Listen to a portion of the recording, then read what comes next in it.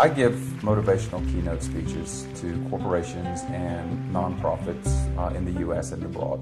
We had this team, 30 members. Not all of them had physical or cognitive challenges. You know, 14 or 15 did. Another 16 or so did not, but they believed in equality. They believed in teamwork. Most of the time, I get the luxury of sharing the Team Everest expedition story. Decided to put this expedition together, representing just about every cross disability that you could possibly imagine. Team Everest consisted of two parts, really. We had a team that went to the base camp of Mount Everest, and it was the largest cross disability team ever really assembled and succeeded in reaching Mount Everest base camp. Then, after I stood on top of the world with uh, four of my closest Sherpa friends.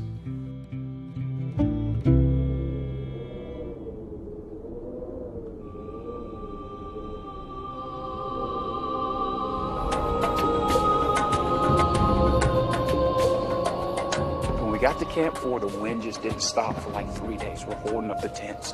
I thought the whole exhibition was over. In fact, other exhibitions were leaving, aborting their plans to climb to the top because of the high winds.